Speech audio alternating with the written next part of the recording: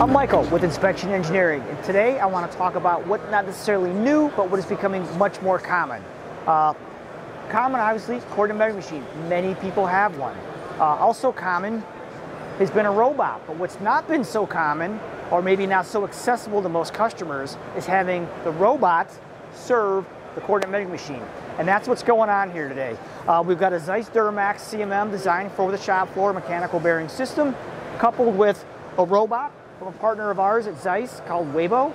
Uh, Waybo helps integrate robots to coordinate measuring machines, and uh, you might find that there's more to robots than you realize. Many clients only think they need a robot if they've got thousands of the exact same parts. That's not the case here. The Waybo system hooked up with the Carl Zeiss machine um, can do multiple parts. So you could have a casting, you could have a finished machine part, a partial machine part, large part, small part, totally unrelated parts.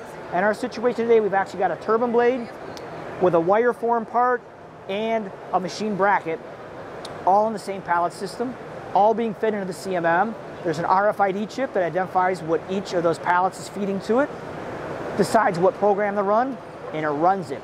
So, if you're ever thinking about automating, if you're having a hard time keeping parts fed through your CMM to get efficient, let us know. We can help you out with some partners we've got. Thanks for watching.